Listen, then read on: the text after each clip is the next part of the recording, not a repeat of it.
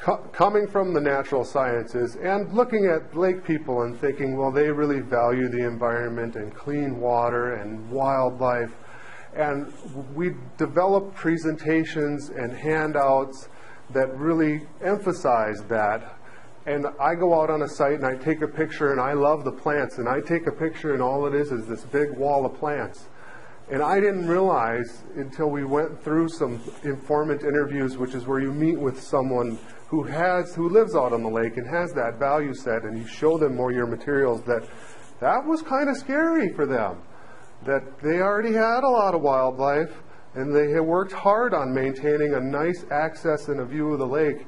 And just by going back out and taking a picture of the same site, but centering the access area in the photo, I now had a photo that really made people much more likely to adopt. Just when they looked at it, they felt at ease because they knew they would still have a shoreline access area.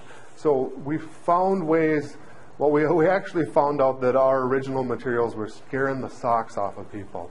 And that's why two people would come up at the end of the presentation and they'd be ready to restore their shoreline, and everyone else would kind of file out and not talk to me.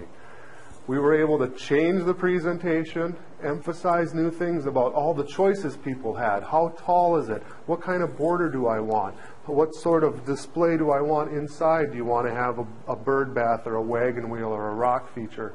And put it more into a designing your landscape and maintaining these things that you already value. And all of a sudden, all kinds of people would flock up at the end of the presentation and they were interested.